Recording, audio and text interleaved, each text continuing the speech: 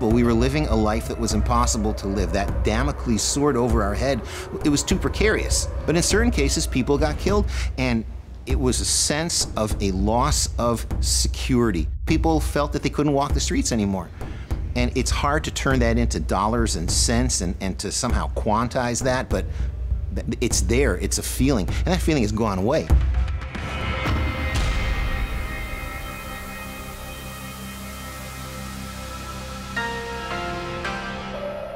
Gazans were nice enough to tell us during the war in 2014 that at 9 o'clock we're going to turn the skies over Tel Aviv into fire. So at a quarter to 9, people would go and put the popcorn in their ovens and take out their lawn chairs and sit down and watch the Sound of Light show.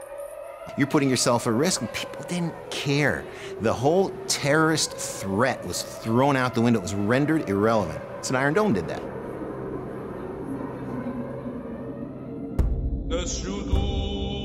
Iron Dome protects large urban areas from what we call high volume rocket fire.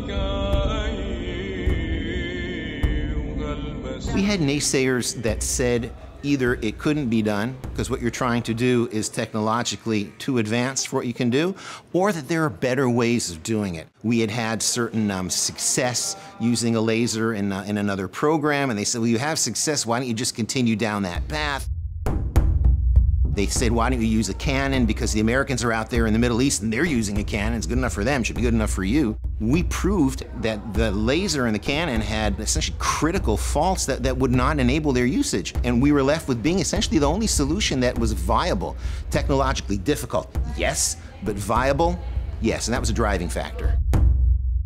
We realized early on that we would need American assistance, be it financial, and we invited them to come along. The American um, Army sent a group of scientists over, and they were given a deep dive, and their response was that it was too high risk and our um, request for support was denied, and we did it ourselves. Now, when the thing started to work, the, the, the United States of America, I mean, completely they, they, were, they, were, they supported it to the tune of more than $1.3 billion to date. But when it came to developing the system, not one American dollar went into it. It was 100% Israeli shekels. It was probably the fastest developed system I've ever seen in my life. Similar systems take three to five times as long 10 years, 15 years for a system to come up. It took us three and a half years, and the system was up defending everybody like I always say, when your backyard's on fire, then you do things you wouldn't necessarily do and you work quicker. Many people in the United States of America travel a greater distance to work than is the width of our country. A large percentage of the country lives within 50 kilometers, which is about um, 30 miles from Gaza or Lebanese border. So you're talking about 80% um, of the uh, of the country's population, which is living in in range of rocket fire. And these guys have rockets that are really no great shakes. These rockets don't travel that far. They're technologically dumb, and you can put them together in your basement, and you can terrorize large swaths of our population. You have city, you have people living in the city, you have people living on the other side of the border who do not like the people living in the city, and they open fire on them with rockets. Now, these rockets have what's called a warhead, which is like a bomb. And a rocket's really a way of taking your warhead from point A to point B. They fire the, the, the, the rockets over, many of them, until Iron Dome came in. We were, we really held hostage. Wherever these things landed, they'd blow up and do whatever damage they did kill people, injure people, um, destroy property. In 2006, they chased a million people out of their homes in the north of the country. Iron Dome intercepts these rockets so that they do not land. Their warhead blows up in the air, and um, the people that are on the ground are free to continue their lives. This thing lives and breathes on computers. The computers are necessary for the calculation of where the bad guy is going to be, what's the best way for us to get there to greet it, destroy it. I mean, there's so many people and so many countries that want to share the love with us by throwing rockets with bombs in it. There are bombs that are coming from next door and bombs that are coming from way out in Iran. The problem is that the further you throw one of these things, the harder it is to catch. It's like a baseball. If I'm going to throw a ball from, from the pitcher's mound, then it's easy for the catcher to catch. But I'm going to throw that ball from the right field corner. I mean, that ball's going to be coming in really, really fast, and I need a good catcher to catch it. Same thing with this. Same thing with missiles. So if I built a system that could take care of the hardest missiles, the ones that are coming from farthest away, That'd be an expensive system, and it would be overkill for all the easy stuff. So what we do in Israel is we split the sky into levels, and the lowest level is Iron Dome. And that takes care of stuff that's coming to about 40 miles out. If you're standing more than 40 miles out and you fire a rocket at us, then our solution, our response will not be with Iron Dome. Our response will be with the next layer up, and that's, um, where is it? That's David's sling.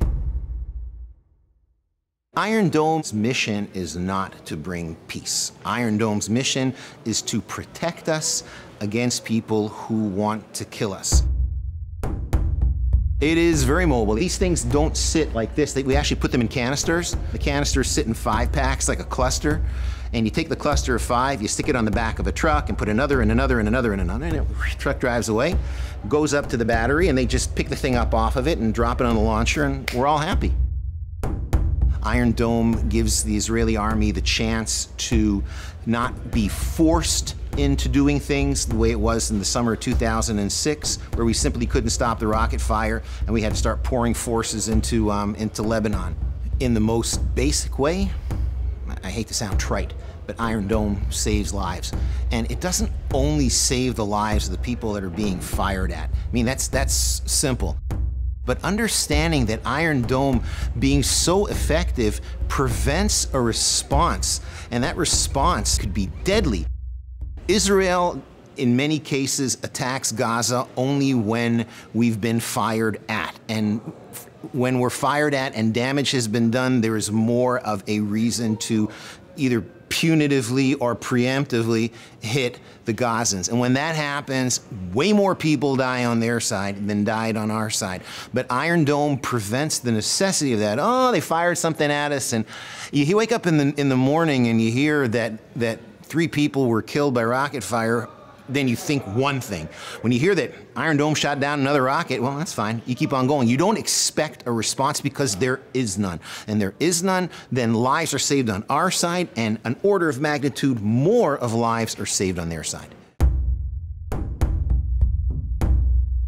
Technologically, we're at the biting edge. And there's a lot of stuff we do here which is really, really cool. We're defending state of Israel. And there's always an understanding that, especially with Iron Dome, you're protecting the homeland. We were going in and out of bomb shelters in the order of nine times a day. And I'm talking about a large percentage of Israel's um, population, from Tel Aviv, Jerusalem, or Beersheba, cities that are, that are five to 10 miles from Gaza, nine times a day. Well, we were living a life that was impossible to live. That Damocles sword over our head, it was too precarious. But in certain cases, people got killed. And it was a sense of a loss of security. People felt that they couldn't walk the streets anymore. And it's hard to turn that into dollars and cents and, and to somehow quantize that, but it's there, it's a feeling, and that feeling has gone away. Israelis are getting used to living under the new reality, and that was rocket fire. And now they're getting used to living under the reality of Iron Dome. Damocles' sword is not leaving. That's just the way we live. And we're going to continue making it possible for Israel to continue to be the most amazing startup nation and a great place to raise your kids that it is. That's my job. It was a miracle of biblical proportions. In 1948, Israel became a nation. The Jews had a homeland.